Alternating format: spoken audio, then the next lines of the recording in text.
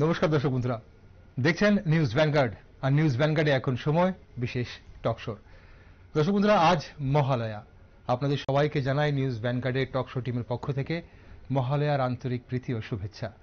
আজ থেকে দেবীপক্ষের শুরু। পক্ষকালের জন্য কৈলাস ছেড়ে মা মর্তে আসছেন। কিন্তু মর্তে কি হচ্ছে? মর্তে কোথায় কি হচ্ছে? এবং ভারতবর্ষের বিভিন্ন ইস্যু রাজ্যের বিভিন্ন ইস্যু নিয়ে আমরা কিন্তু টকশোতে আলোচনা করি। তো আজ আমরা যে বিষয়টি নিয়ে আলোচনা করব, দর্শক বন্ধুরা, এটা খুব গুরুত্বপূর্ণ বিষয়। আজ মহালয়ার এই সন্ধ্যায় আমরা এই বিষয় নিয়ে আলোচনা করছি, কারণ এই মুহূর্তে দেশে এই বিষয়টি আলোচ্য। আর্থসামাজিক উন্নয়নে কাস্ট সেন্সাসের কি প্রয়োজন? আপনারা অনেকে হয়তো জানেন যে কিছুদিন আগে মহিলা সংরক্ষণ বিল যখন পাস হয়, তখন কাস্ট সেন্সাসের দাবি ওঠে বিরোধী পক্ষ থেকে। কি এই কাস্ট সেন্সাস? কাস্ট সেন্সাস এবং সেন্সাস, তার মধ্যে পার্থক্য কি? কোনটা হলে কি হবে? সেসব নানান বিষয়ে আজ আমরা একটু জানার চেষ্টা করব এবং আজ আমাদের এই বিশেষ টকশোতে আমার সঙ্গে আছেন রাজ্যের বিশিষ্ট বিজ্ঞান কর্মী প্রদীপ্ত রায়। স্বাগত প্রদীপ্ত আপনাকে। প্রদীপ্ত আমরা প্রথমে যদি একটু জানার চেষ্টা করি যে সেন্সাসটা কি এবং এই যে socio economy and caste census আমরা যাকে বলছি, এই দুটোর মধ্যে পার্থক্যটা কি? একটু যদি বুঝব আমরা আগে। সেন্সাস তো হয় সামগ্রিকভাবে জনসংখ্যা কত আছে একটা দেশে? তাদের ইকোনমিক স্ট্যাটা কি আছে? তাদের মধ্যে যে সামাজিক অবস্থানগুলো কি? তারপরে আরও স্বাস্থ্যর ব্যাপার আছে শিক্ষার ব্যাপার আছে এই সমস্ত বিষয় নিয়ে সেন্সাস করা হয়। জনগণনা যেটা জনগণনা শুধু জনগণের মাথা মাথাগুন্দির ব্যাপার নয়। তার পাশাপাশি তার শিক্ষা স্বাস্থ্য অর্থনৈতিক অবস্থা সংক্রান্ত তথ্যগুলিও নেওয়া হচ্ছে জনগণনার কাজ। আচ্ছা। এর সঙ্গে যুক্ত হয় যদি কাস্ট সেন্সাস যেটা উনিশশো একত্রিশ সাল পর্যন্ত হয়েছিল আমাদের দেশে। উনিশশো সালে হয়েছিল কিন্তু তখন দ্বিতীয় বিশ্বযুদ্ধের প্রক্রিয়া মানে পর্ব চলছিল। তুঙ্গে তখন দ্বিতীয় বিশ্বযুদ্ধ তখন সেন্সাসের রিপোর্টটা আর প্রকাশিত হয়নি। আচ্ছা। তার আগে পর্যন্ত কাস্ট সেন্সাস হয়েছে।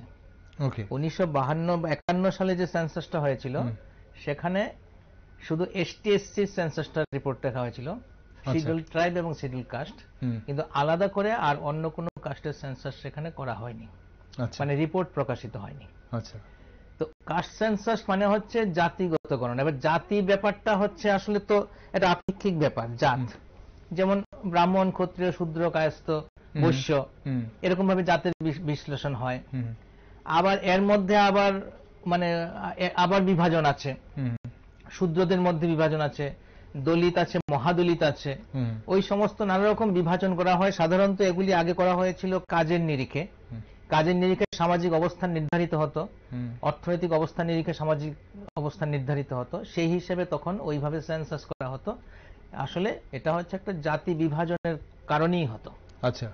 তো এখন যেটা হয়েছে যে কাস্ট সেন্সাসের পর্বটা তো আসলে নতুন নয়। পুরনো পুরনো ব্যাপারই আছে। উনিশশো উনআশি সালে বিপি মন্ডল কমিশন বসেছিল মোরারজি দেশের আমলে বসানো হয়েছিল। মন্ডল কমিশন রিপোর্ট অনুযায়ী তখন আবার ওবিসি আদার ব্যাকওয়ার্ড কমিউনিটি নির্ধারিত হয়েছিল প্রায় সাতাশ শতাংশ আদার ব্যাকওয়ার্ড কমিউনিটি এই মন্ডল কমিশনের সুপারিশ মোতাবেকই উনিশশো পঁচানব্বই সালে নরসিমা রাও সরকার যখন ছিল তখন আর্টিকেল সিক্সটিন একটা নতুন ঢোকানো হয়েছিল সাতাত্তরতম সংবিধান সংশোধন করে। সেখানে পঞ্চাশ শতাংশ সংরক্ষণের সরকারি চাকরির ক্ষেত্রে কর্মসংস্থান ক্ষেত্রে পঞ্চাশ শতাংশ সংরক্ষণের একটা মানে নিয়ম চালু হয়েছিল। আদার্স ব্যাকওয়ার্ড কমিউনিটিকে সাতাশ শতাংশ দেওয়া হয়েছিল। আচ্ছা। আর বাকি সাতাশের মধ্যে বাকি তেইশ? বাকি তেইশ হচ্ছে SC, ST এসটি এসসি মিলিয়ে এসটি মিলিয়ে আছে সেটা। তো এবার এই কাস্ট সেন্সাসের পর্বটি সবসময় তো বিতর্কিত। কারণ এই ওবিসির মধ্যে এখন নানা রকম বিভাজন হয়েছে। আচ্ছা। অনেকগুলো আলাদা আলাদা বিভাজন আছে। এবং সবাইকে সন্তুষ্ট করে সবকিছু করার ব্যাপারটা আসলে তো পুরোপুরি আসলে রাজনৈতিক। অর্থনৈতিক বিকাশের ক্ষেত্রে শুধুমাত্র অর্থনৈতিক পার্থক্যগুলি বিবেচনা করলেই তো হয়। সাধারণভাবে আমরা উচ্চবিত্ত মধ্যবিত্ত নিম্নবিত্ত এরকম ভাবে মানুষকে দেখি। মানুষটা আসলে অর্থনীতির ভিত্তিতে বিভাজিত। কিন্তু দেখা যায় যে আসলে অর্থনৈতিক বিভাজনটাকে কখনই যথেষ্ট মনে না করে। সবসময় কি হয় একটা জাতিগত প্রশ্ন সামনে আসে। আচ্ছা। এখন ধর্মীয় প্রশ্ন ব্যাপকভাবে সামনে আসছে। আবার ধর্মীয় প্রশ্ন যখন সামনে আসে তখন জাতিগত প্রশ্নটাকে পেছনে ঠেলে দেওয়া হচ্ছে। অর্থাৎ সমস্ত বর্ণ যা আছে মানে ওই হিন্দু ধর্মাবলম্বীদের মধ্যে সবাইকে একটা ধর্মের মধ্যে নিয়ে আসার একটা প্রচেষ্টা এটাও তো রাজনৈতিক। হুম। তো এখন সেন্সাস যেটা হয়েছিল এবং তার সঙ্গে কাস্ট সেন্সাস যুক্ত করার মধ্য দিয়ে বলা হচ্ছে যে এতে কি হচ্ছে কে কোন কতটা আছে মানে কোন বর্ণের কোন কাস্টের কতজন আছে আমাদের দেশে সেটা নাকি বের করা যাবে এবং সেইভাবে আর্থসামাজিক মূল্যায়নকে তাদের উন্নয়নের চেষ্টা করা যাবে। ঠিক আমি আসব ব্যাপারটা আরও বিস্তারিত আলোচনা কিন্তু দর্শক বন্ধুরা আপনাদের জানিয়ে রাখি কাস্ট সেন্সাস আমরা আজ একটু এই বিষয়টা নিয়ে আলোচনা করার চেষ্টা করছি যে দেশের আর্থসামাজিক বা দেশের জনগণের আর্থসামাজিক উন্নয়নে কাস্ট সেন্সাসের ভূমিকা কি থাকতে পারে? যেটা প্রচুর আপনি বলছেন সেন্সাস বোধ শুরু হয় আঠারোশো একাশি সালে। যতটুকু আঠারোশো সাঁত্রিশ সালে প্রথম সেন্সাস শুরু হয়েছিল। আচ্ছা।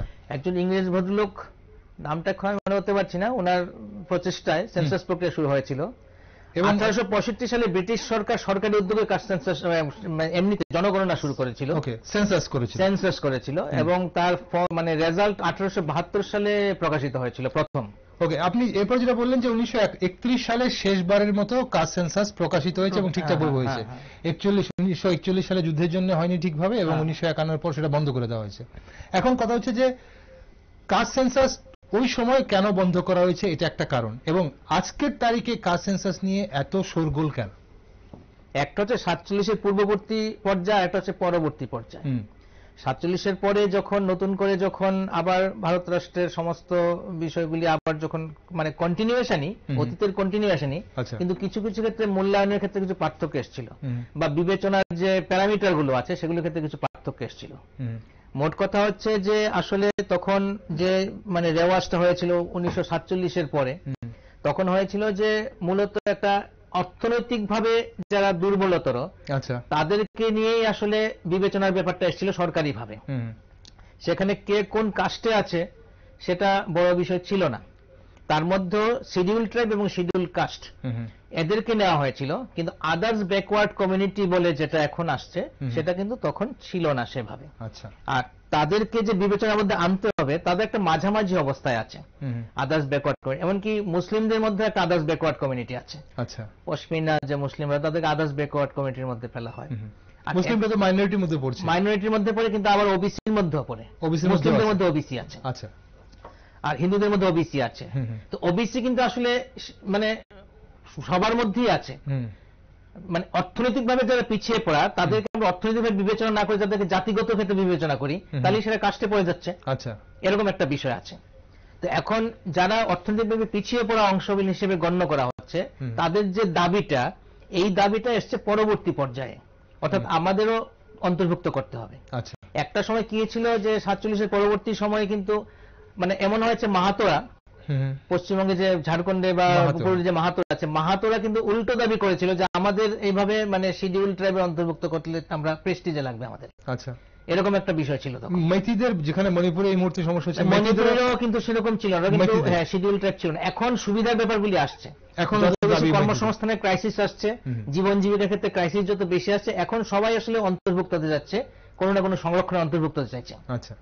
এবার সংরক্ষণ অন্তর্ভুক্ত যতই হোক আসলে কর্মসংস্থানের সুযোগ তো নেই। হুম। আলটিমেটলি সুযোগ কিছুই পাবে না কিন্তু একটা সোশ্যাল আনরেস্ট তৈরি হচ্ছে। আচ্ছা। এই সোশ্যাল আনরেস্ট এখন তৈরি হচ্ছে এই কারণে আসলে কর্মসংস্থান না থাকার অর্থনৈতিক ভাবে আসলে মানুষ পিছিয়ে যাচ্ছে বলে একটা বিরাট অংশের মানুষ অর্থনৈতিক ভাবে যত দুর্বলতর হচ্ছে বলে। এই জন্য এই বিষয়টা আসছে। আচ্ছা। আর মোট কথা হচ্ছে যে এই যে সমস্ত সংরক্ষণের সুবিধাটা কিন্তু। তথ্য বলে যে মাত্র ছ শতাংশ শিডিউল ট্রাইব এবং শিডিউল কাস্টের কাছে পৌঁছতে পেরেছে। চুরানব্বই শতাংশ শিডিউল ট্রাইব শিডিউল কাস্ট আসলে কিন্তু এই বিশেষ করে সরকারি চাকরি সংরক্ষণের সুযোগটা পাচ্ছে না। ক্রিমি লেয়ার তৈরি হচ্ছে।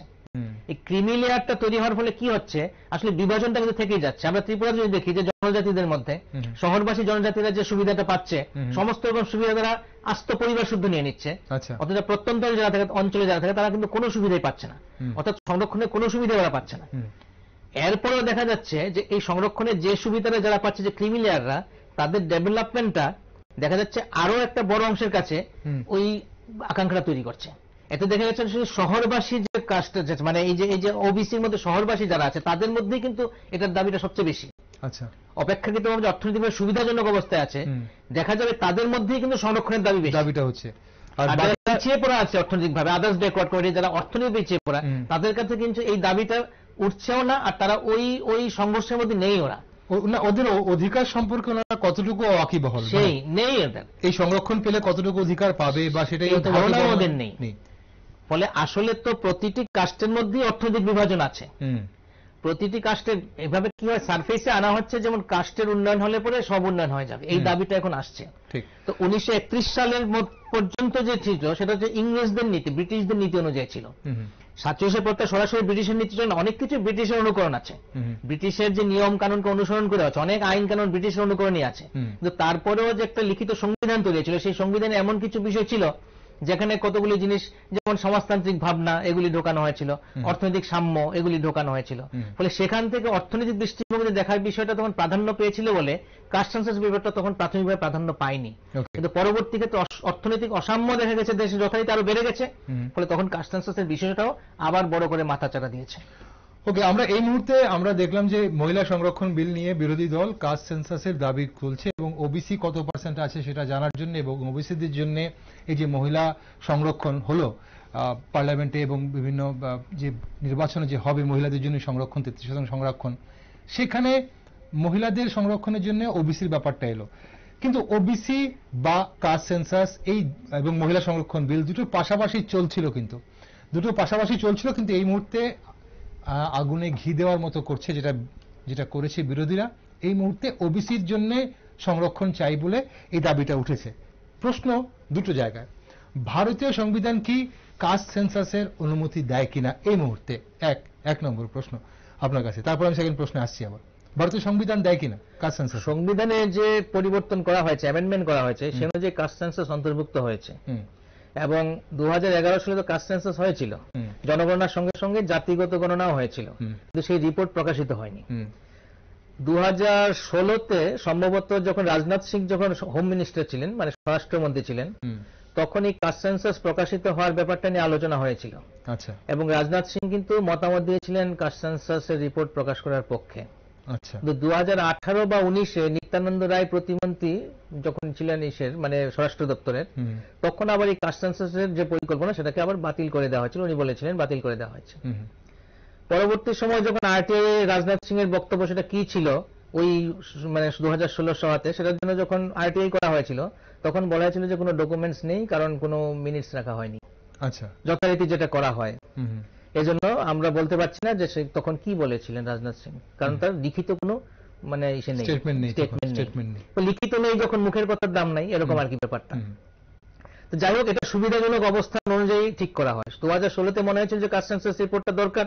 দু হাজার আঠারোতে পলিসি চেঞ্জ হয়েছে তখন বলা হয়েছে না কাস্ট সেন্সাস রিপোর্ট দেওয়া যাবে না। আচ্ছা। এদিকে যেহেতু আঞ্চলিক দলগুলির মধ্যে সমাজবাদী পার্টি বা কি বলে আরজেডি এরা মূলত জাতির রাজনীতি করে থাকে ফলে তাদের কাছে এটা খুব ইম্পর্টেন্ট কারণ তাদের পক্ষে, হ্যাঁ, হ্যাঁ, হ্যাঁ, জাতিকে ধরে রাখা সম্প্রদায়কে ধরে রাখার জন্য তাদেরকে নিজেদের পক্ষে রাখার জন্য কাস্ট সেন্সাসের যে আওয়াজটা তোলাটা খুব দরকার। তো এখন প্রশ্নটা মূল প্রশ্নটা ছিল কি? মূল প্রশ্ন হচ্ছে যে ভারতীয় সংবিধান তার অনুমতি? সংবিধান ওই পঁচানব্বই সালে যে অ্যামেন্ডমেন্ট হয়েছিল সেই অ্যামেন্ডমেন্ট অনুযায়ী কাস্ট সেন্সাসের ব্যাপারটা অন্তর্ভুক্ত হয়েছে এবং আচ্ছা। অন্তর্ভুক্ত হয়েছে বলে কাস্ট সেন্সাস করা হয়েছিল কেন্দ্রীয়ভাবেই করা হয়েছিল। আচ্ছা। মানে মানে? ব্যাপারটা হচ্ছে যে আসলে কাস্ট সেন্সাসটা করতে হবে কেন্দ্রীয় ভাবে আচ্ছা। সেন্ট্রাল গভর্নমেন্ট করবে। রাজ্য সরকার আলাদা করে কাস্ট সেন্সাস করতে পারে না।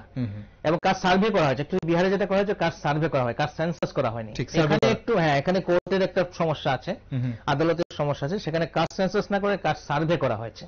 কাস্ট সেন্সাস করার এখতিয়ার আসলে কেন্দ্রীয় সরকার এই জন্যই তো বলা হচ্ছে যে কেন্দ্রে যদি বিরোধীরা ক্ষমতায় আসে মহাজোট ক্ষমতায় আসে আইএনডিআইএ তাহলে কাস্ট সেন্সাস করা হবে। যদিও তাদের মধ্যে মতবিরোধ আছে। এখন প্রশ্ন যে বিরোধীরা আসলে কাস্ট সেন্সাস করা হবে তখন ওবিসির জন্য সংরক্ষণ আরও বাড়বে এরকম ধরে নেওয়া হচ্ছে। কিন্তু প্রশ্ন হচ্ছে দু হাজার এগারো সালে আমার দ্বিতীয় প্রশ্ন যেটা ছিল যে দু হাজার এগারো সালে কাস্ট সেন্সাস করা হয়েছে তারপরে সেটা প্রকাশ হলো না কেন? এক তখন তো কংগ্রেস ছিল।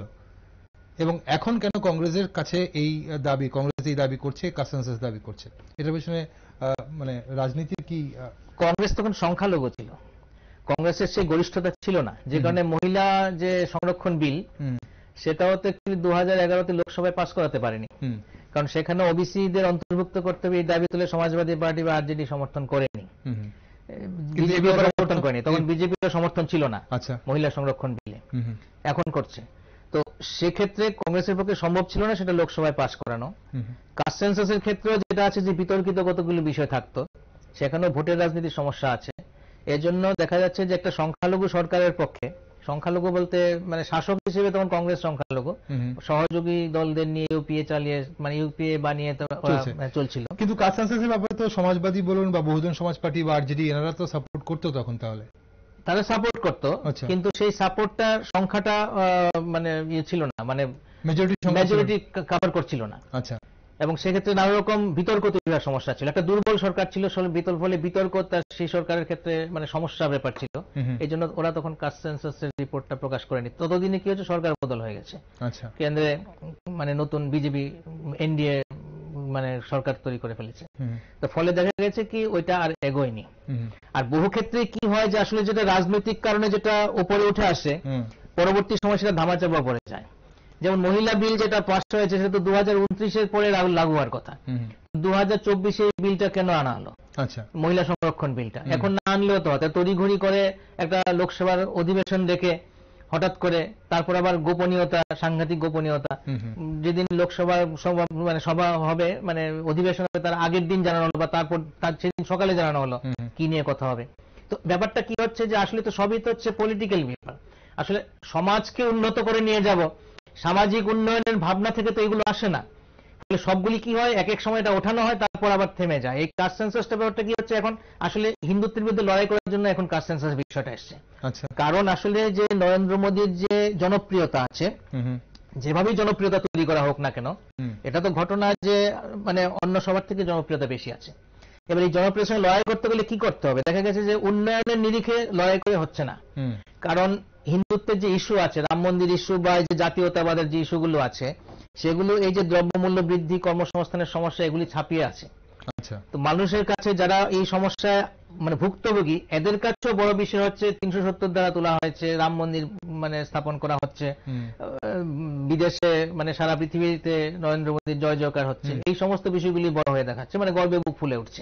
এটার কারণটা কি? মানে সেটা কি হ্যাপি ইন্ডেক্স আগামী দিন ভালো থাকব। ইন্ডেক্স তো বটে এই যে আমি আগে বলেছি যে মানে মানুষের আসলে মানে আজকে কতটুকু ভালো আছে আগামী দিন একশো কতটুকু ষোলো ভালো হয়ে যাচ্ছে তার ফিউচার মানে এক্সপেকটেশন ইন্ডেক্স আর এখন যে ইন্ডেক্স আছে মানে স্যাটিসফ্যাকশন ইন্ডেক্স সেটা হচ্ছে এইটটি এইট আচ্ছা।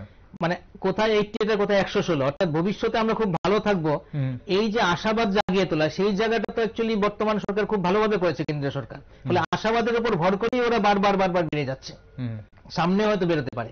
এই জায়গা থেকে আসলে কি হচ্ছে আবেগজনিত কোনো ইস্যু যদি না তোলা যায় জাতিগত আবেগ যদি না তোলা যায় সম্প্রদায়গত আবেগ যদি না তোলে তাদের সঙ্গে লড়াই করা যাচ্ছে না। আচ্ছা। ওই জায়গা থেকে অ্যাকচুয়ালি কাস্ট সেন্সাসটা বড়ভাবে এসছে।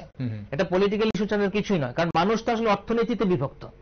মানুষের মধ্যে আসলে ধনী গরিব এটাই হচ্ছে প্রধান ব্যবধান। তো এত কাস্ট সেন্সাসের দরকার কি? মানুষের ইকোনমিক্সটা কি আছে?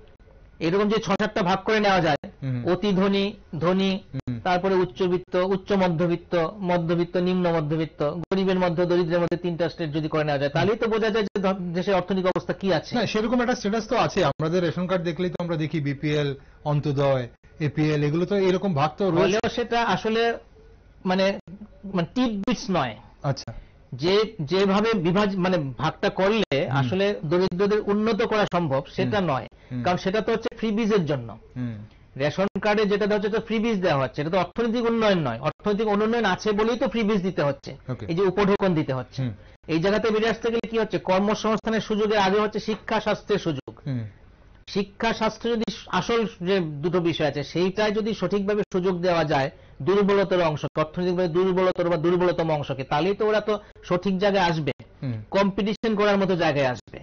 আজকে উচ্চবিত্ত বা উচ্চ মধ্যবিত্তরা যেটা করতে পারছে কর্মসংস্থানের ক্ষেত্রে যেভাবে কম্পিট করতে পারছে সেই কম্পিটিশন তো আসতে পারছে না। তারপরে তো সংরক্ষণের প্রশ্ন। কম্পিটিশনে আসার ব্যাপারটা তো সরকারের সহায়তা করার কথা। সেটা তো অর্থনৈতিকভাবে দুর্বলতর বা দুর্বলতর অংশকে সেটা করার কথা। সেটা না করে তাদেরকে চাল ডাল দেওয়া হয়। চাল ডাল দিয়ে তো তার অর্থনৈতিক উন্নয়ন হবে না। আচ্ছা। তো এই জায়গাটা থেকে বেরিয়ে আসতে গেলে যেটা করা সেটা তো করা হচ্ছে না। তার বদলে কি হচ্ছে যে ওই ফ্রি বীজের রাজনীতি করা হচ্ছে। যারাই ক্ষমতায় আছে যে সরকারই আসুক যে দলই আসুক তারা ফ্রি বীজের রাজনীতি করছে। ঠিক আমরা একটা জিনিস একটু এখানে আর একটু বোঝার চেষ্টা করি যে রাজনৈতিক অ্যাঙ্গেলটা বোঝার চেষ্টা করি। দু হাজার এগারো সালে যখন কংগ্রেস ছিল আপনি বলছেন যে তখন এটাকে কংগ্রেস সংখ্যালঘু ছিল বলে তারা প্রকাশ করতে পারেনি এবং ভয় ছিল যে সেখানে সরকার না পড়ে যায় এবং অন্যরা বিরোধিতা করবে। এখন তাহলে বর্তমানে বিজেপির কাছে এটার বিরোধিতা করার পেছনে কাস্ট সেন্সাসের বিরোধিতা করার কারণ কি? বিজেপি তাহলে কেন চায় না যে কাস্ট সেন্সাস হোক? বিজেপির লাইন তো আলাদা। বিজেপির লাইন তো হচ্ছে সমস্ত হিন্দুরা এক জায়গায় আসবে। বিজেপি যদিও একটা ব্রাহ্মণ্যবাদী দল হুম, আরএসএস এর নির্দেশিকায় কিন্তু বিজেপি চলে। যদিও এখন দেখা যাচ্ছে যে নরেন্দ্র মোদী অনেক কিছু আরএসএস এর নির্দেশের বাইরে গিয়েও করছে। কিন্তু মূলত হচ্ছে বিজেপি দলটার চালিকা শক্তি হচ্ছে আরএসএস। হুম, আরএসএস তো মূলত ব্রাহ্মণ্যবাদী দল। এখন কি হচ্ছে সমাজের বর্ণাশ্রম বিভাজন তো আরএসএস স্বীকার করে বিজেপিও স্বীকার করে। কিন্তু যখন ভোটের দরকার লাগে তখন সেটা হচ্ছে কি সব হিন্দুকে ওরা একটা ছাতার তলায় নিয়ে আসতে চায়। এবার কাস্ট যদি সেন্সাস হয় কাস্ট সেন্সাস যদি হয় জাতিগত বর্ণগত বিভাজন যদি হয় তাহলে কি হচ্ছে এর মধ্যে আবার বর্ণে বর্ণে আলাদা হয়ে যাবে। এই সমাজে দেখা গেছে কি ব্রাহ্মণ ক্ষত্রিয় শূদ্র দলিত মহাদলিত এরকম ভাবে যে বিভাজনটা আছে তার মধ্যে দেখা গেছে যে আসলে কি হচ্ছে কাজের ক্ষেত্রে অর্থনৈতিক ক্ষেত্রে পার্থক্য তো আছেই। যেটা বললাম যে আসলে কি আছে এসসি এসটির মধ্যে ছয় থেকে সাত শতাংশ ক্রিমি লেয়ার তৈরি হয়েছে। মানুষ কি হয় এই যে বলা হচ্ছে যে মহিলা সংরক্ষণ বিল হলে মহিলারা মহিলারা সুযোগ মানে যে মহিলারা সুযোগ পাবে ওরা উঠে যাবে উপরে। সেরকম সংরক্ষণের সুযোগ যারা নিয়েছে তারা আসলে ডিক্লাস্ট হয়ে গেছে। আচ্ছা। এসসি এসটির মধ্যে বা ওবিসির মধ্যে যারা সংরক্ষণের সুযোগ পেয়েছে তারা দেখা গেছে পরিবার গোষ্ঠী শুদ্ধ সমস্ত সুযোগ সুবিধা নিয়ে নিচ্ছে। ওরা কিন্তু আর তাদের শ্রেণীতে নেই তাদের অবস্থানে নেই। ফলে একজন মানে ওই দলিত দলিত রাষ্ট্রপতি হলো কি দলিত একজন মানে আইএস অফিসার হলো এটা দিয়ে কিন্তু দলিতের উন্নতি হয় না হওয়ার কথাও নয়। মানুষটা আসলে শ্রেণীতে বিভক্ত অর্থনৈতিক বিভাজনে বিভক্ত।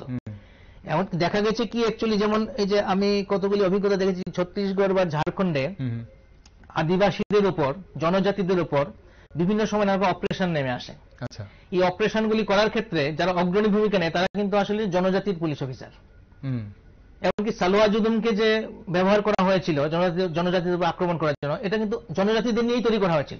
আচ্ছা। তো দেখা গেছে কি আসলে জনজাতির উপর যখন কোন রকম মানে প্রতিশোধমূলক কাজ করতে হয় তখন ওদেরকেই কাজে লাগানো ওদের অংশের লোককেই কাজে লাগানো হয়। ওরা তো তখন আর দেখে না যে সে আমার জাত ভাই কিনা। আচ্ছা। কারণ অর্থনৈতিকভাবে যারা উপরে উঠে যায় তারা উপরে উঠে অন্য শ্রেণীতে চলে যায়। তারা কিন্তু নিজের শ্রেণীতে থাকে না। ফলে প্রধানমন্ত্রী দলিত কি ওবিসি রাষ্ট্রপতি দলিত কি ওবিসি এটা মোটেও বড় বিষয় নয়। কয়জন সাংসদ মহিলা হলো সেটা দিয়ে মহিলার উন্নতি হয় না হওয়া সম্ভব নয়। ওরা যখন সাংসদ হয়ে যায় যখন শাসক শ্রেণির অংশ হয়ে যায় ওরা শাসকের সুরেই কথা বলবে।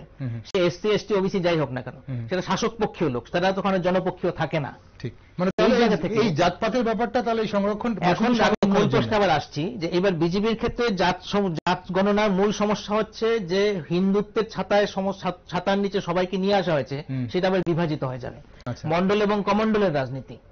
মন্ডলের রাজনীতি থেকে কমন্ডলের রাজনীতি দেখেছে। আগে তো মন্ডল ভিত্তিক রাজনীতি ছিল যাতে ভিপি সিং ক্ষমতায় চলে এসেছিল। তো এখন এই মন্ডলের রাজনীতি হচ্ছে বিরোধীদের হাতিয়ার। সম্প্রদায়গত বিভাজনকে কাজে লাগিয়ে সম্প্রদায় সম্প্রদায় ভাগ করে। আমাদের এখানে সেটা সেরকম নেই কিন্তু ইউপি বিহার রাজস্থান বা মধ্যপ্রদেশে দেখা যাবে যে একেবারে সম্প্রদায়গত বিষয়। আচ্ছা। আমি মধ্যপ্রদেশে এরকমও দেখেছি বাইকের পেছনে লেখা আছে ব্রাহ্মণ। আচ্ছা। বাইকের যে প্লেটটা আছে নাম্বার প্লেটে লেখা ব্রাহ্মণ।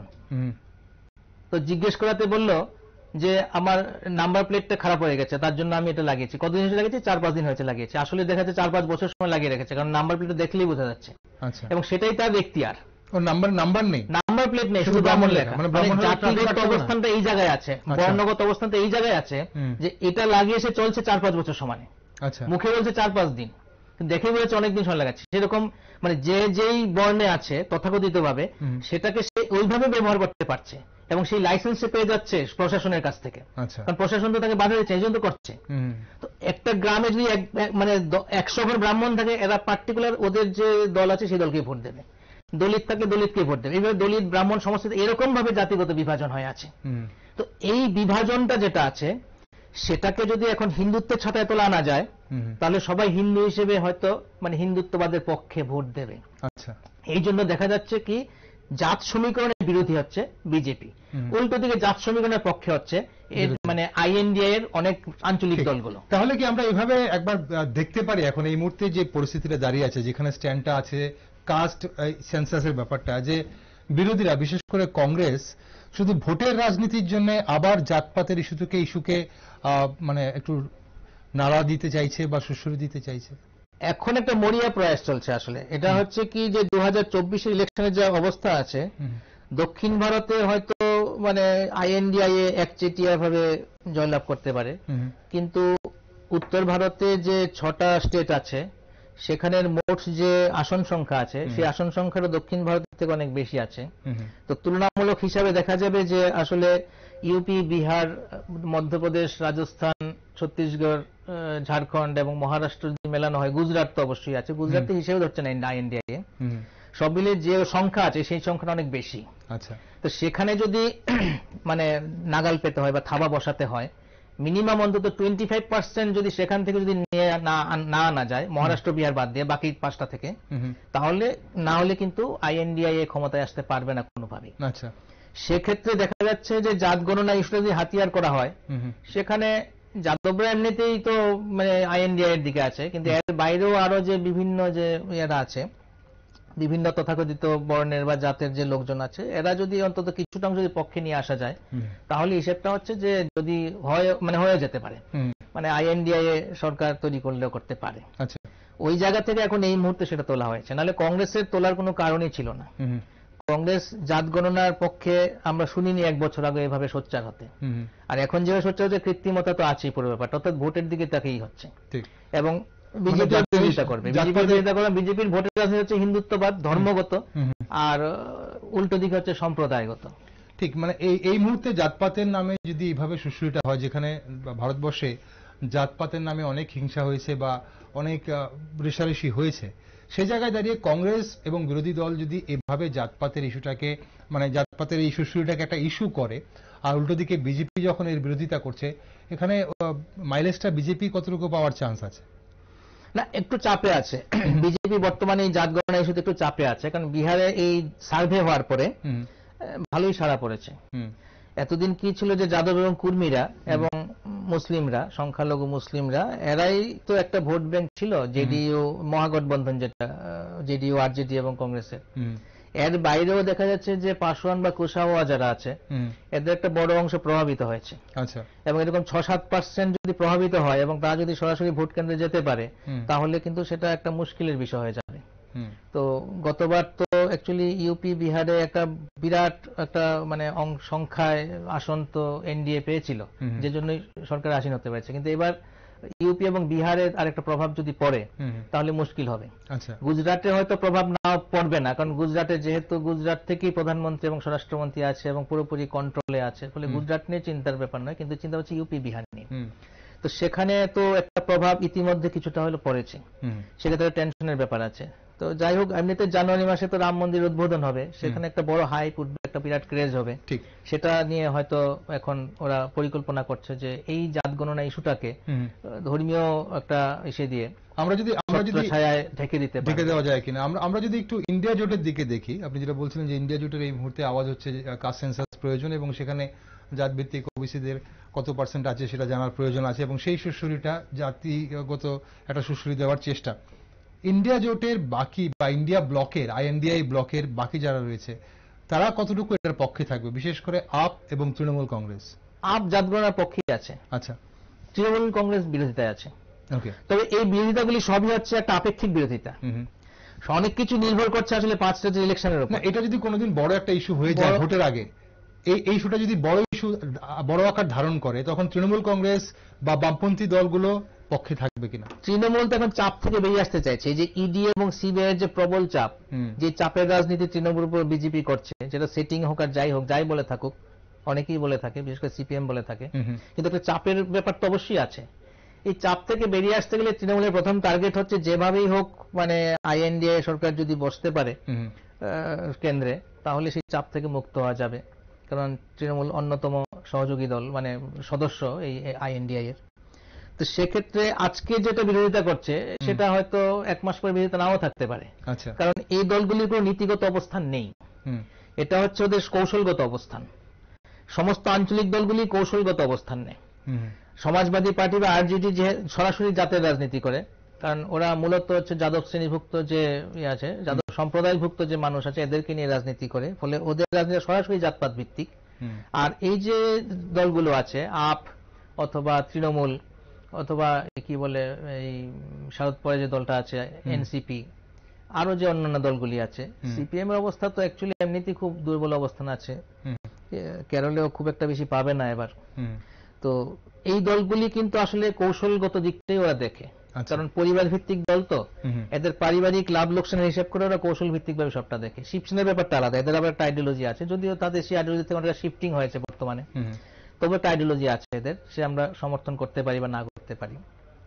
তো এই যে সমস্ত বিষয়গুলি এই পাঁচ রাজ্যের ইলেকশনের পরে কিন্তু একটা বিরাট পরিবর্তন হয়ে যাবে সমীকরণের। আচ্ছা। অবস্থানের ক্ষেত্রে অনেক ব্যাপার হয়ে যাবে।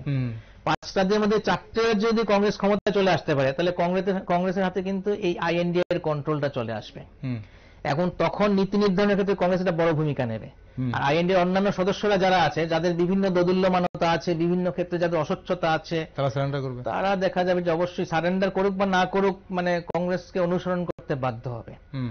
তখন কিন্তু ব্যাপারটা আসলে স্পষ্ট হবে যে এই জাত গণনার পেছনে।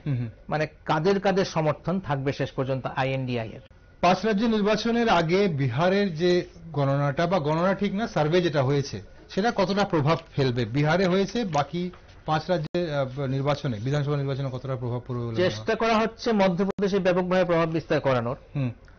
তো প্রভাব কিছুটা আমরা যদি দেখি যে ইলেকশন সার্ভেগুলি যেগুলি হচ্ছে দেখা যায় কিছু কিছু প্রভাব তো পড়েছে। আচ্ছা। বিশেষ করে যারা আদার্স ব্যাকওয়ার্ড কমিউনিটির অন্তর্ভুক্ত আছে এবং আরও যারা আরও পিছিয়ে পড়া যে ব্যাকওয়ার্ড ক্লাস যারা আছে। তাদের মধ্যে তো একটা প্রভাব আছেই। ওকে বিহারে আমি একটু যদি দর্শক বন্ধুদের জানিয়ে দিই যে, বিহারে যে কাস্ট সার্ভেটা হয়েছে, সেখানে দেখা গেছে আদার ব্যাকওয়ার্ড ক্লাস মানে ওবিসি এবং এক্সট্রিমলি ব্যাকওয়ার্ড ক্লাস ইবিসি যারা রয়েছে তাদের এই, তারা মিলে sixty three percent of the population of Bihar বিহারের জনসংখ্যার তেষট্টি শতাংশ আদার ব্যাকওয়ার্ড ক্লাস এবং এক্সট্রিমলি ব্যাকওয়ার্ড ক্লাসের রয়েছে। কিন্তু ঘটনা হচ্ছে যে অ্যাকচুয়ালি যে তেষট্টি শতাংশের যে হিসেবটা না এই হিসেবটা আসলে কে বিচার করবে? কারণ এই সার্ভে যে হয়েছে খুব তড়িঘড়ি সার্ভে করা হয়েছে ইলেকশন। অবশ্যই অথেন্টিসিটি নিয়ে প্রশ্ন আছে। কারণ অনেকেই বলছে যে আমাদের কাছে তো খোঁজ করতে আসেনি। আমরা আমরাও তো আদার্স ব্যাকওয়ার্ড কমিউনিটি কিন্তু আমাদের কাছে তো আসেনি কেউ। সার্ভেটা হলো কি করে? আসলে এগুলি ইম্পেরিক্যাল সার্ভে আচ্ছা। ওপর ওপর সার্ভে করা হয়েছে। তো ওপর ওপর সার্ভের ভিত্তিতে আসলে তড়িঘড়ি প্রকাশ করা হচ্ছে হয়তো তেষট্টি না হয় সেটা আটান্ন- হতে পারে বা পঁয়ষট্টি হতে পারে। তবে মোটামুটি আমরা জানি এরকমই হবে। কিন্তু এটা একদম পুঙ্খানুপুঙ্খ নয়। তো এখন কথা হচ্ছে যে আসল তো কাজটা তো পলিটিক্যাল ইস্যু না এটা? এই জন্য কি হয়েছে যে ওই তড়িঘড়ি প্রকাশ করে দেওয়া হয়েছে। আচ্ছা। মানে মানে তড়িঘড়ি কেন? মানে বিধানসভা নির্বাচন আগে বলে? হ্যাঁ বিধানসভা নির্বাচন আছে আসন্ন বিধানসভা নির্বাচন আছে প্লাস লোকসভা ইলেকশন নির্বাচন, আছে এইগুলো ব্যাপার আছে তার জন্য করা হয়েছে। হুম। কিন্তু তার সঙ্গে যেটা যুক্ত করা হচ্ছে যে কংগ্রেসের তরফ থেকে যেটা বলা হচ্ছে যে অর্থনৈতিক বিষয়টা সামনে আনা হবে। অর্থাৎ কাস্ট সেন্সাসের পরবর্তীতে যেটা হবে সেটা হচ্ছে যে অর্থনৈতিক সমীক্ষা। আচ্ছা। দেশের ধনী গরিব কীরকম আছে? এগুলো সমীক্ষা হবে। কিন্তু এটা বাস্তবে কতটা হবে সেটা খুব মুশকিল। আচ্ছা। ধনীরা যেখানে দেশটা চালাচ্ছে রাষ্ট্রটা চালাচ্ছে সেখানে তাদেরকে সেন্সাস করে তাদের ধনীকে ধনী হওয়া থেকে বাদ দিয়ে গরিবকে আরও মানে উঠিয়ে আনার জন্য। উঠিয়ে আনার জন্য যে প্রচেষ্টা নেওয়া হবে এটা তো অ্যাকচুয়ালি সমাজতান্ত্রিক ভাবনা। তো ভারতবর্ষের মতো রাষ্ট্র কাঠামোতে এই সমাজতান্ত্রিক ভাবনা আসলে কতটা কার্যকরী হবে সেটা তো সন্দেহ থেকেই যায়। তো এটা প্রায় অসম্ভব ব্যাপার। তো সেক্ষেত্রে আসলে এখন যেটা বলা হচ্ছে সেটা আসলে মানে ওই পক্ষভুক্ত করার জন্য। আমার মনে হয় যে আসলে দরিদ্র শ্রেণির মানুষদের তার- কতটা মাথা ঘামায় দরিদ্র শ্রেণির মানুষের সেটাও একটা বড় ব্যাপার। চেষ্টা করে তাদের একাংশকে এই ব্যাপারটা নিয়ে মাথা ঘামানোর। যে কাস্ট সেন্সাসের পরবর্তী সময়ে যে ইকোনমিক সেন্সাস হবে তখন সেই ইকোনমিক সেন্সাসের মধ্য দিয়ে যারা অতি দরিদ্র মানুষ আছে তাদেরকে কীভাবে উপরে নিয়ে আসা যায় উঠে আনা যায় সেটা নিয়ে ভাবা হবে। কিন্তু আলটিমেটলি সব তো ফ্রি বিজের ভেতরে চলে যায় সব উপঢৌকনের মধ্যে চলে যায় দান খয়রাতির মধ্যে চলে যায়। গরিবদের জন্য যে দলই আসুক ক্ষমতায় আজকে যারা শাসনে আছে বা বিরোধীতে আছে সবাই কিন্তু আসলে দান খয়রাতির দিকে চলে যায়। আসলে তো উন্নয়নের জন্য ওই যে বললাম যে শিক্ষা স্বাস্থ্যের ক্ষেত্রে বড় ইয়ে দেওয়া দরকার। কর্মসংস্থান এগুলিতে আসলে জোর দেওয়ার কথা। অর্থাৎ মানুষের কর্মসংস্থানের বিকাশ যদি হয় তাহলে তো অর্থনীতির প্রকৃত বিকাশ হবে। অর্থনৈতিক বিকাশ। সেটার চেষ্টা তো কেউ করে না। শেষ পর্যন্ত সেই চেষ্টাটা না তখন করে আর তখন মানে জাতের বিভাজনটা প্রয়োজন হবে না অর্থনৈতিক বিকাশ করতে গেলে সত্যি প্রচুর পরিমাণে বিনিয়োগ করতে লাগবে শুধু ওই ক্ষেত্রে। কিন্তু দেখা যায় যে ভারতের মানে স্বাস্থ্যের ক্ষেত্রে বোধহয় সম্ভবত এখন টু পয়েন্ট থ্রি পার্সেন্ট আছে। আর শিক্ষার ক্ষেত্রে এরকমই আছে মানে দুই থেকে আড়াই শতাংশ মানে ইয়ে করা হয় মানে বাজেটের খরচা করা হয়। তো এত কম খরচার মধ্য দিয়ে কখনই ভারতবর্ষের একশো চল্লিশ কোটি লোকের মধ্যে যেখানে নব্বই কোটি লোকই আসলে দরিদ্র সেখানে তাদেরকে উন্নয়ন সম্ভব নয়। আচ্ছা। আর এই মৌলিক উন্নয়ন যদি না করা হয় শিক্ষার যদি সবার মানে সমান সুযোগ না দেওয়া হয় কর্মসংস্থানের সুযোগটা আসবে কি করে? কর্মসংস্থানের দৌড়ে যেখানে আমরা দেখি যে উপরের যে এই যে ডাক্তার ইঞ্জিনিয়ার থেকে শুরু করে বিভিন্ন প্রফেশনাল যারা হচ্ছে তারা মূলত মধ্যবিত্ত উচ্চ মধ্যবিত্ত পরিবার থেকে যাচ্ছে। সে যে কাস্টেরই হোক না কেন। আচ্ছা। সে দলিত হতে পারে কিংবা ব্রাহ্মণ হতে পারে কিংবা যা যা আছে রাজপুত হতে পারে ক্ষত্রিয় হতে পারে বৈশ্য হতে পারে। আসলে কি হচ্ছে অর্থনৈতিকভাবে যারা বেশি বেশি মানে ভালো অবস্থানে আছে সুবিধাজনক অবস্থানে আছে প্রিভিলিয়াস যারা ওরাই কিন্তু আসলে এই ইঁদুর দূরের মধ্যে যেতে পারছে। তাদের মধ্যে কতজন সফল হচ্ছে সেটা পরের ব্যাপার। কিন্তু কম্পিটিশনে কম্পিট করার মতো অবস্থায় তারাই আসছে। আর সে ব্রাহ্মণী হোক শূদ্রই হোক কিংবা। অর্থনৈতিকভাবে যারা খারাপ অবস্থায় আছে তা তো সেই দৌড়ে যেতেই পারছে না। ঠিক। আজকে ত্রিপুরা রাজ্যে যদি আমরা দেখি হিসেব করে যে টেট পরীক্ষা যদি দিতে হয় টেটের যে প্রিপারেশনটা নেবে এই প্রিপারেশনটা নেওয়ার যে ক্যাপাসিটি সেটা কতজনের আছে? যাদের আছে তারা যে কাজটি হোক না কেন ওরা পারবে প্রিপারেশনটা নিতে আর বাকিরা পারবে না। ঠিক সেরকম ভাবে মেডিকেল এন্ট্রান্সই হোক বা ইঞ্জিনিয়ারিং এন্ট্রান্সই হোক। সবকিছুতেই যাওয়ার ক্ষেত্রে কি হচ্ছে? আসলে অর্থনৈতিক অবস্থানটাই হচ্ছে বড় ফ্যাক্টর কাস্ট কিংবা জাতপাত ধর্ম বড় ফ্যাক্টর নয়। আসলে তো মানুষ ধর্ম জাতপাতে বিভক্ত নয় মানুষ আসলে অর্থনৈতিকভাবে বিভক্ত। তাহলে এই মুহূর্তে আমরা যে কাস্ট সেন্সাসের কথা বলছে যদি আপনার কথা অনুযায়ী তাহলে আমরা এই কাস্ট সেন্সাসের প্রয়োজনই নেই তাহলে নাকি মানে সেন্সাসটা ইকোনমিক সেন্সাস হওয়া প্রয়োজন? ইকোনমিক সেন্সাসের প্রয়োজন তো। ওকে কাস্ট সেন্সাস তো রাজনৈতিক বিষয়। হুম। ইকোনমিক সেন্সাসই তো যথেষ্ট। হুম। অর্থনৈতিকভাবে কারা ধরুন মাসে দশ হাজার টাকা নিচে ইনকাম করে কারা কুড়ি হাজার টাকা নিচে ইনকাম করে তারা কি কাজ করে ইনকামটা করছে? এই যে- এই সমস্ত ডেটা যদি সামনে থাকে তাহলে তাদের উন্নয়নের প্রশ্নটা। কীভাবে দশ হাজার টাকা যে ইনকাম করছে তাদেরকে কুড়ি হাজার টাকা নিয়ে আদার ব্যাকওয়ার্ড। অনেকেই আছে হয়তো যারা মাসে দু লাখ টাকা রোজগার করছে। আছে। আবার আদার ব্যাকওয়ার্ড ক্লাসের এরকম আছে যারা দু হাজার টাকাও মাসে হয়তো রোজগার সংরক্ষণের। সুবিধা কিনে কেনা নিচ্ছে? হ্যাঁ। একই পরিবারে তিনজন চাকরি করে। চতুর্থ ব্যক্তিতেও চাকরি ঢুকে যাচ্ছে ওকে মানে এই এই সংরক্ষণের সুযোগ সংরক্ষণের সুযোগ তার তো সুযোগ ছিল না। তো আজকে তার তো মানে সুযোগ থাকার কথা নয়। ইনকাম ট্যাক্স দিতে হচ্ছে না। তো এই সমস্ত সুযোগ সুবিধা নিয়ে যারা সুবিধাভোগী তারা আরও বেশি সুবিধাভোগী হচ্ছে। আর যারা পাচ্ছে না তারা পাচ্ছেই না। আজকে গন্ডাছড়া বা অম্পিনগরের বা যতনবাড়ি প্রত্যন্ত অঞ্চলে যারা এখনও ওই যে গিরিবাসী যাদের বলা হয় এরা জলের কোনো সুবিধা নেই শিক্ষার কোনো সুবিধা নেই স্বাস্থ্যের কোনো সুবিধা নেই কর্মসংস্থানের কোনো সুযোগ নেই এরা হতদরিদ্র অবস্থায় আছে। এরাও তো জনজাতিভুক্ত। এরা পঞ্চাশ বছর আগে যা ছিল এখনও তাই আছে। আর শহরবাসী যারা আছে এরা দিন দিন উত্তর উত্তর এদের বৃদ্ধি হচ্ছে। এরা আরও ভালোর থেকে আরও ভালোর দিকে যাচ্ছে। এখন যদি শুধুমাত্র কাস্ট ধরে আমরা যদি করি শুধুমাত্র বর্ণ ধরে হিসেব করি তাহলে ওই যারা। সুবিধাভোগী এরাই সুবিধা পাবে আর যারা খারাপ ওরা খারাপই থাকবে। আসলে জাতপাতের ভিত্তিটাই হচ্ছে পুরোপুরি রাজনৈতিক। ধর্মের ভিত্তিটাও পুরোপুরি রাজনৈতিক। ঠিক দর্শক বন্ধুরা আমরা কাস্ট সেন্সাস নিয়ে কথা বলছিলাম আজ এবার যেতে যেতে আমরা আরেকটু দেখব। আমরা পলিটিক্যাল অ্যাঙ্গেলটা দেখার চেষ্টা করলাম এবং প্রচুদা বলছিলেন যে কি হতে পারে কাস্ট সেন্সাস কেন প্রয়োজন হচ্ছে বিরোধীরা কেন সুর চড়াচ্ছে কাস্ট সেন্সাসের পক্ষে সওয়াল করছে। আর এই যে আর্থসামাজিক উন্নয়নে কাস্ট সেন্সাসের আমরা যদি তাৎপর্য বা ভূমিকাটা একটু দেখি আপনি আপনি বলবেন যে এগুলো কতটা কি হবে? সামাজিক বৈষম্য দূর করতে কাস্ট সেন্সাস প্রয়োজন কিনা? সামাজিক বৈষম্য এখন আছে কেন? সেটা হচ্ছে সবচেয়ে বড় প্রশ্ন। হুম। এখন একটা জিনিস কি হচ্ছে যে বলা হয় যে আসলে ভারতবর্ষে আসলে মানে শ্রেণি আর সমাজ সব একাকার হয়ে গেছে। মানে এখন আর ওই মানে বিহারে এমনকি কমিউনিস্ট পার্টি যারা ওখানে কাজকর্ম করে। মানে কমিউনিস্ট নামধারী তো একশো আটটা পার্টি আছে এরাও এখন আর বলছে শ্রেণি সংগ্রাম নয় এখন মানে জাত সংগ্রামটাই বড় হয়ে গেছে। অর্থাৎ এমন ভাবে জাতপাত মানুষের মধ্যে ঢুকে আছে। এটা বলে আসলে মূল সত্যটাকে আড়াল করা হয়। আচ্ছা। মূল সত্যটা আড়াল করা হয় এই কারণেই যে আসলে কি হচ্ছে যে দলিত কোটিপতি হয়ে গেছে তার সামাজিক অবস্থান যে দলিত তস্যগরিব হয়েছে তার সঙ্গে এক নয়। আচ্ছা। আজকে ভারতবর্ষের যে রাষ্ট্রপতি ছিলেন। উনার যে সামাজিক অবস্থান। আর আমাদের এখানে যে ওই যে কি বলে মানে যারা ইসে করে মানে কি বলে পয় প্রণালী পরিষ্কার করে তাদের অবস্থান তো এক নয়। আছে মল্লিকার্জুন খার্গে আমি উল্টো দিকে যাই। উনি কংগ্রেসের প্রেসিডেন্ট আছেন দলিত। এবার এই দলিতকে দেখে আমি বলছি যে দলিত কত উন্নত হয়ে গেছে ব্যাপারটা তো এরকম নয়। একজনকে দিয়ে বাকি সবার একজনকে থেকে- হিসেব করা যায় না। এরকম মুষ্টিমেয় সামান্য কিছু লোক এমন পর্যায়ে চলে গেছে যে এরা কিন্তু আসলে তাদের অবস্থানে নেই। তাদের যে আর যে সমস্ত মানুষ যে অবস্থায় সেই অবস্থানে নেই। ফলে কখনই দেখা পাবে যে এই ধরনের কনসেন্সাস দিয়ে সামাজিক অর্থনৈতিক উন্নয়ন সম্ভব নয়। অর্থনৈতিক উন্নয়ন করতে গেলে অর্থনৈতিক বৈষম্য দূর করতে হবে। এই বৈষম্য দূর করতে গেলে কি করতে হবে? যে যারা একেবারে অর্থনৈতিকভাবে খারাপ অবস্থায় আছে তাদের অর্থনৈতিক বিকাশের জন্য উপযুক্ত কর্মসংস্থানের জন্য তাদেরকে তৈরি করতে লাগবে। আচ্ছা। কর্মসংস্থানের জন্য উপযুক্ত হলেই তো কর্মসংস্থানের ব্যবস্থা করা যায়। সেটার ব্যবস্থা তো করা হচ্ছে না। সেটা যদি না করা যায় তাহলে কি করা হবে? আজকে আজকে আজকে শিক্ষা ব্যবস্থা যদি আমরা দেখি স্কুলগুলির কি অবস্থা আছে? গ্রামাঞ্চলে যে স্কুলগুলি আছে। স্কুলগুলির অবস্থা এত খারাপ আছে যে সেখান থেকে যে শিক্ষা পাবে সেই শিক্ষা দিয়ে আসলে কখনোই কর্মসংস্থানের সুযোগ হবে না।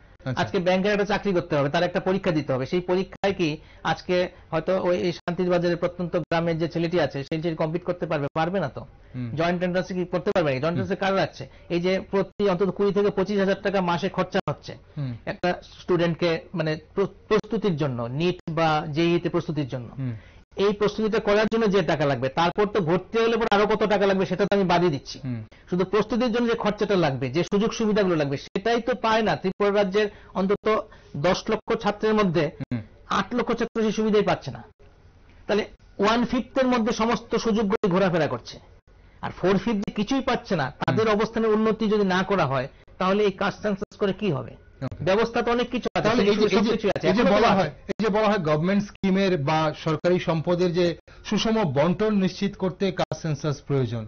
তাহলে সেখানে তো আমার কথা আপনার কথা শুনে মনে হচ্ছে যে ইকোনমিক সেন্সাস করলেই হবে।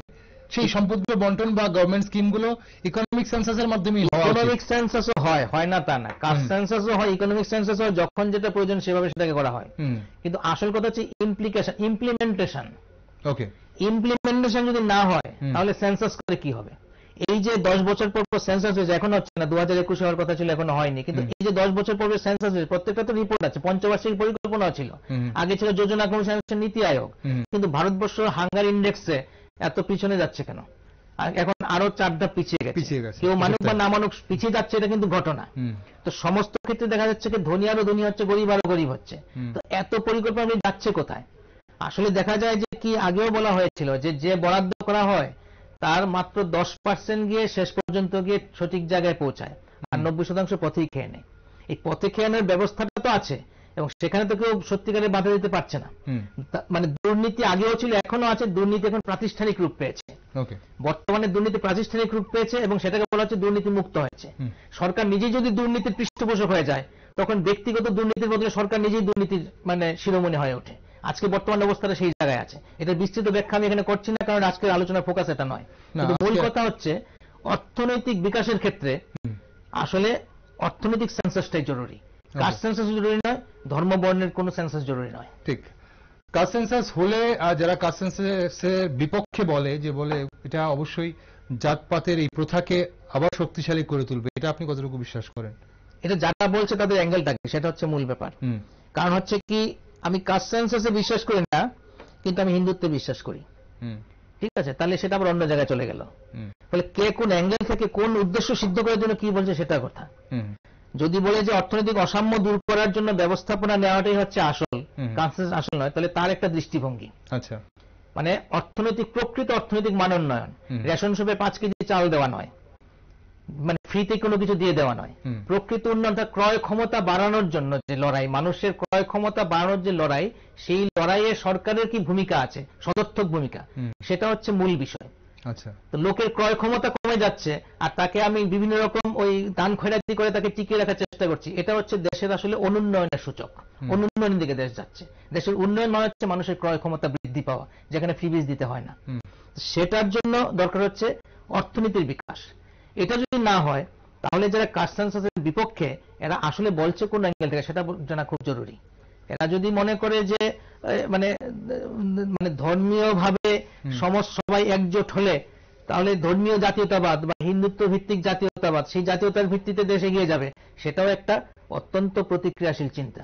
ফলে দুদিক থেকেই আমাদের হিসাবটা করতে লাগবে। ওকে আমরা কাস্ট সেন্সাস নিয়ে আলোচনা করছিলাম আর শেষ একটা প্রশ্ন আপনার কাছে একটু জানতে চাইব যে যদি কাস্ট সেন্সাস হয় এবং অলরেডি কাস্ট সেন্সাসের মধ্যে এসটি এসসির সেটা গণনা হয় তো আমাদের ত্রিপুরা রাজ্যে যদি গণনা এসটি এসসি কে নিয়েই যদি কাস্ট সেন্সাস হয় যেটা পরে আগামী দিনে যেটা হবে ত্রিপুরাতে এর কোনো প্রভাব পড়বে কি কাস্ট সেন্সাস যদি না হয়? কাস্ট সেন্সাস তো আসলে এগারো কাস্ট সেন্সাস কিন্তু শুরু হয়েছিল ত্রিপুরা থেকেই। হুম। হেজামারা ব্লকে সাংখলা বোধহয় গ্রামটার নাম। ওই গ্রামের দু হাজার জুন মাসের উনত্রিশ তারিখ না কত তারিখ কাস্ট সেন্সাস প্রথম শুরু হয়েছিল। তো ত্রিপুরা দিয়েই শুরু হয়েছিল। তো এখন ত্রিপুরাকে প্রথমেই অন্তর্ভুক্ত করা হয়েছিল। তো একটা বিশেষ নিশ্চয়ই গুরুত্বের ব্যাপার ছিল। কিন্তু সেই গুরুত্বটা আসলে বাস্তবে কতটা প্রতিফলিত হয়েছে সেটা হচ্ছে বড় ব্যাপার। তো ত্রিপুরাতে আসলে মানুষ জাতপাত নিয়ে অত মাথা কামায় না। যে মাথা ঘামানোটা আমরা উত্তর ভারতে বেশি দেখি দক্ষিণ ভারতেও আছে কিন্তু উত্তর ভারতে অনেক বেশি আছে। ত্রিপুরাতে অত মাথা ঘামায় না। জাতের সমীকরণ বা ধর্মের সমীকরণ ত্রিপুরাতে অতটা চলে না কিন্তু আবার চলে না ব্যাপারটা এরকমও নয়। এখন আবার ভালোই চলছে ধীরে ধীরে আস্তে আস্তে বাড়ছে।